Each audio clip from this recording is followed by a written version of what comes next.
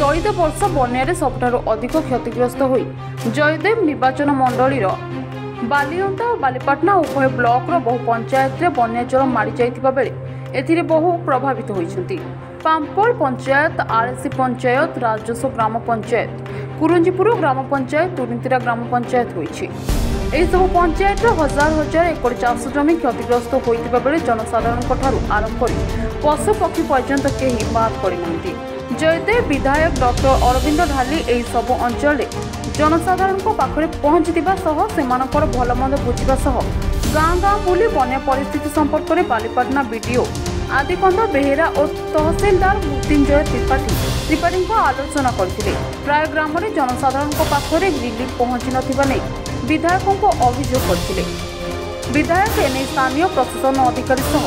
phone ଯୋଗେ ଆଲୋଚନା କରିଥିଲେ ଭୁବନେଶ୍ୱରରୁ ପ୍ରକାଶ ବାରିକଙ୍କ ରିପୋର୍ଟ ଶେଷ ନ୍ୟୁଜ୍